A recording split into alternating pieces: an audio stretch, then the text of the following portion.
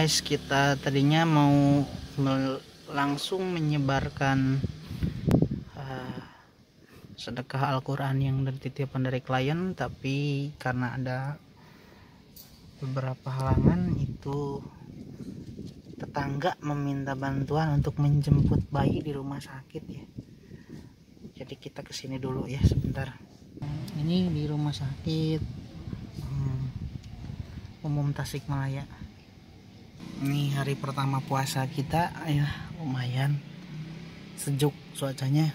Targetnya sih kita bisa mendistribusikan kurang lebih ya hari ini minimal 50 lah 50 Al-Quran dulu. Tapi mudah-mudahan bisa ya karena waktu dan keadaan sekarang cukup uh, mepet. Kasihan guys. Ada yang sakit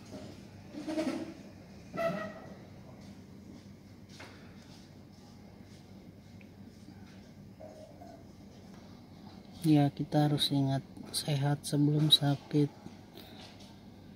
tua sebelum memuda sebelum tua kaya sebelum miskin hidup sebelum mati. Ya hikmahnya kayak gitu ya. Coba.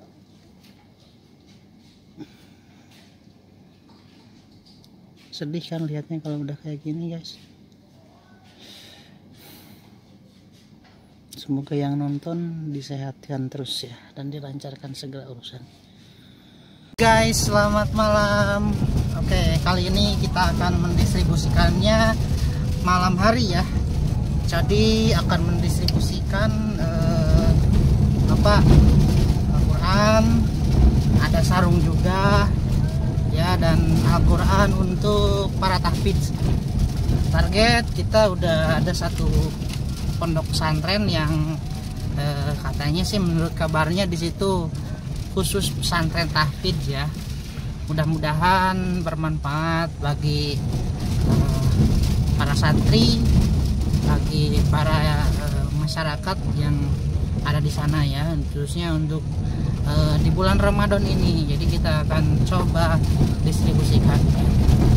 Jangan lupa saksikan terus eh, video ini mudah-mudahan bermanfaat ya dan menginspirasi bagi orang banyak ini udah nyampe di gangnya nah ini udah sampai ke pondok pesantren Baitur Rahman Insya Allah dulu. Abang ngiring doa ke almarhum sih. Jantan ahli surga. Amin, amin. Ibu dedena. Dan bisa Allah nak kumanin kamu masalah aja nih. Sing jembar berkah keluarganya kalau sehat Allah tuh. Insya Allah kajing berangkat itu hadir nanti guys eh, kita tadi baru saja menyerahkan beberapa Al-Quran ke salah satu eh, tempat pengajian juga ya. Punya Al-Muhajirin Ma'ad Al-Muhajirin. Kemudian semalam juga kita menyerahkan eh, ke pesantren Tahfidz Baitur Rahman namanya. Ya, jadi mohon maaf banget ini kualitas video dan eh, ininya nggak beraturan ya karena nggak sus nggak susah ditebak lah susah ditebak ini cuaca juga ya. Jadi tapi untuk pendistribusian tetap kita lakukan semaksimal mungkin cuman mungkin untuk dokumentasi. Kita agak kesulitan karena ya cuaca nggak bisa ditebak. Kemudian eh, kegiatan kita juga banyak ya. Tapi alhamdulillah sejauh ini udah hampir rata-rata minimal udah dua hari ini 30 atau 40 Al-Quran itu tersalur setiap hari. Ya. mudah-mudahan terus istiqomah dan terus dapat kepercayaan dari para klien kita ya yang para dermawan dan dermawan wanita ya yang istilahnya ingin menyalurkan atau memberikan sedekah. Boleh ya Eh, nanti kita bantu. Mungkin ada rezeki lebih atau apa nanti kita akan bantu. Untuk tujuan kota misalkan saya mau sedekahnya di kota Anu boleh. Kita nanti bagikan di kota. Permintaan klien aja ya dan kita nggak e, minta tarif berapapun nggak nggak ada nggak ada tarif tarifan pokoknya klien nitip segitu ya kita kasih segitu juga gitu kan. Nggak ada ya nggak ada. Istilahnya harus nih nyalurin ini nggak nggak ada lah. Nah, intinya eh, kita mah ya sama-sama mungkin klien minta disedekahin karena ada harta lebih. Ya saya mungkin lebih ke tenaga lebih ya kalau saya gitu kan itulah kurang lebihnya oke guys terima kasih yang sudah nonton like subscribe juga ya.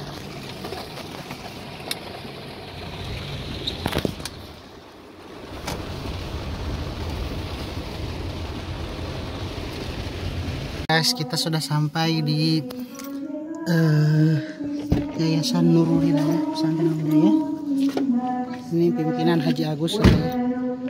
Kebetulan lagi pada ngaji ya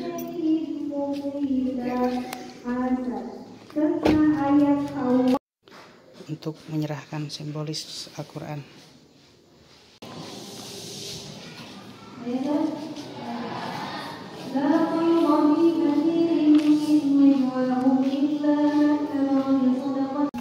Oke okay guys, itu santri-santri lagi pada ngaji tahfidz. Ya mudah-mudahan bermanfaat. Kita sudah selesai uh, menyerahkan kurang lebih ada 50 lebih atau 60, 6 kurang lebih 50 lebih lah ya tadi. Oke, okay, jadi ceritanya guys, ini yayasan namanya Nurul Hidayah. Itu terletak di daerah Bojong Nangka ya, Kecamatan Purbaratu, Kelurahan Sukamenak. Uh, ini tadi diceritakan kuota untuk penerimaan santri itu terbatas sesuai kapasitas asrama ya. Jadi kurang lebih totalnya ada 300 atau 400 lah kurang lebih. Tadi cerita dari salah satu wakil uh, anak, anak dari uh, pimpinan pondok pesantrennya. Nah jadi itu tidak semua santri mengaji tahfidz tapi ada beberapa santri sekitar 50 santrian kurang lebih. Ya makanya tadi kita kasih 50 kemudian Quran besarnya itu kita kasih 5 jadi 55 nah Alhamdulillah eh, jadi semoga memotivasi santri-santri lain untuk belajar tahfidz juga ya. Jadi eh, jadi motivasi lah teman-temannya eh, rajin bertahfidz gitu kan kemudian tadi kita juga minta rekomendasi kembali pesantren tahfidz yang ada di e, wilayah kota Tasikmalaya khususnya. Nah yang benar-benar itu jadi e, pesantrennya ada bangunannya ada santrinya ada kayak tadi. Jadi e, itu lebih apa ya real gitu kan. Jadi nggak kalau misalkan kita kasih ke beberapa orang sih pasti semua ya mau ya kalau namanya dikasih gitu kan. Cuman ini kan kita diamanatkan oleh klien itu untuk e, memberikan istilahnya mah apa ya yang harus dipakai gitu ya. Jadi nggak cuman dikasih tapi harus dipakai oleh yang menerimanya. Jadi mudah-mudahan e, bermanfaat gitu kan. Tuh, kalau cuman misalkan dikasih tapi nggak dipakai ya itu kan uh, bukan harapan kita lah ya. seperti itu. Oh ya lupa. Ternyata kita juga ditemenin oleh Tetendut nih. Tetendut alhamdulillah puasanya uh, udah tiga hari ini puasa ketiga. Alhamdulillah nggak pernah bolong ya. Jadi uh, mau jadi tahfidz juga ya nanti ya. Mau pesantren jadi tahfidz katanya. Nah alhamdulillah udah puasa hari ketiga. Sekarang nggak pernah bolong ya. Mudah-mudahan tamat sampai ke 30 tahun kemarin Tetendut cuma tamat 10 hari. Ya baru lima tahun usianya. Mudah-mudahan nah, tahun ini tamat ya. Oke guys eh, ini pesantren sebetulnya pembagian Qurannya kemarin kita udah beberapa ya udah kita kasih. Cuman caranya kemarin itu eh, lebih sedikit berbeda jadi jujur aja ini cukup membuat saya dilema cara membagikannya. Takutnya kan kalau kita simpan di masjid nggak ada yang ngajinya atau apa. Makanya kemarin saya coba uh, per masjid itu kita kasih per DKM itu supaya dilihat ya. Yang masjid yang kurang gede ya intinya mah ya, ya. pulang. Nah uh, kemarin itu kita kasih teknik seperti ini. Jadi uh, pernah kemarin Baitur Rahman udah kita kasih itu ada ada santri tahbibnya kemudian uh, untuk Quran yang gedenya itu kita cara membagikannya kita intip. Biasanya habis terawih ini ada yang tadarus nggak di masjid? Baru kita simpan gitu kan. Terus tokoh-tokoh uh, misalkan orang-orang yang uh, di DKM tersebut suka rajin nggak ke masjid? Atau misalkan baca Quran nggak gitu karena kita perhatikan. Makanya kita kasih kemarin beberapa juga. Kayak al muhajirin kayak apalagi ya kemarin terus uh, lupa lagi lah pokoknya mah ya. Kita kemarin kasih nanti ada videonya kok gitu kan ya. Oke terima kasih sudah menyaksikan. Uh, semoga vlog ini bermanfaat ya. Intinya demi uh, masa depan kita semua ya terima kasih yang sudah memberikan uh, kepercayaan. Uh, siang ini kita mau ke satu pesantren kembali itu namanya pesantren Sulalatul Huda ya. Kemarin direkomendasikan dari pesantren Nurul Hidayah. Katanya di sana juga ada santri-santri uh, tahfidz.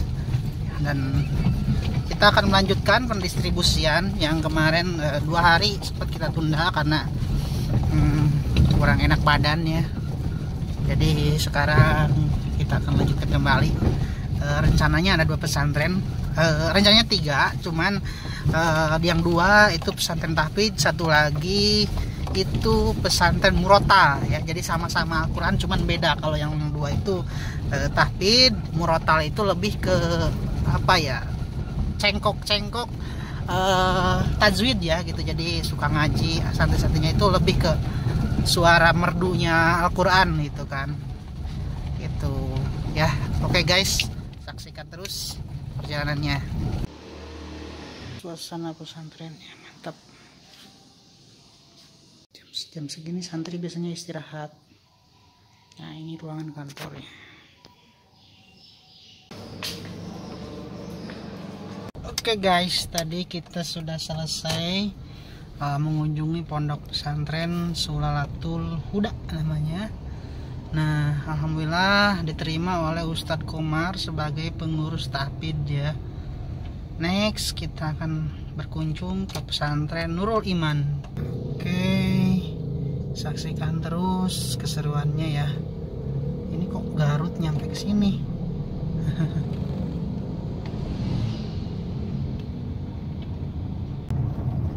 guys kurang lebih sekitar 10 menit lagi lah dari sini menuju pondok pesantren Nurul Iman. Wow. nah kota santri. Iya. Santri-santri lagi ngebuburit. Si bayi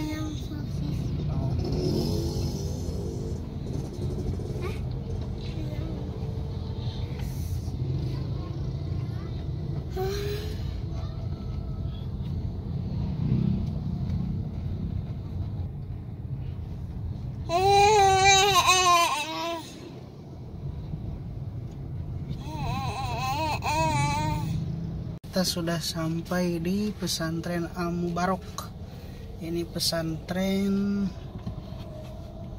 uh, Muratal ya. Lagi melantunkan ayat suci Al-Quran.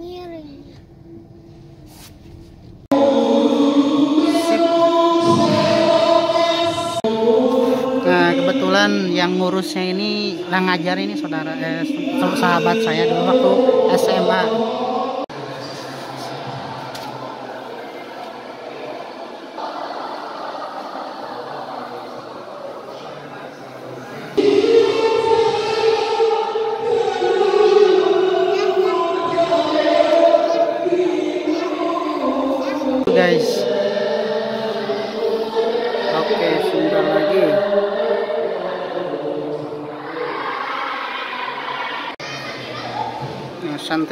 santri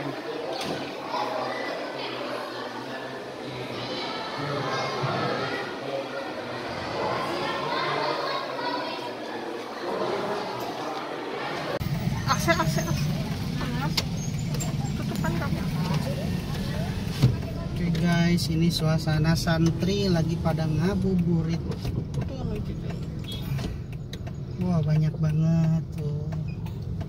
Aset teh turun aja teh. Jadi Engkau di itu deket itu ge anu aya. anu dibelah ditutup. Heeh. ini lain nu ieu lain. Banyak banget nu yang ngabuburit mah cilorok ya. Abi Bahkan sampai. Ada patwalnya tuh. Ya ini santri semua nih. Hampir 90% paling warga sekitarnya mah sekitar ya 10 persenan lah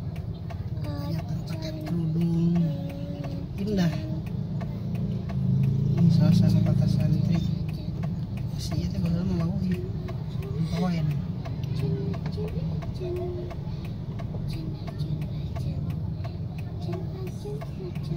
ngabuburit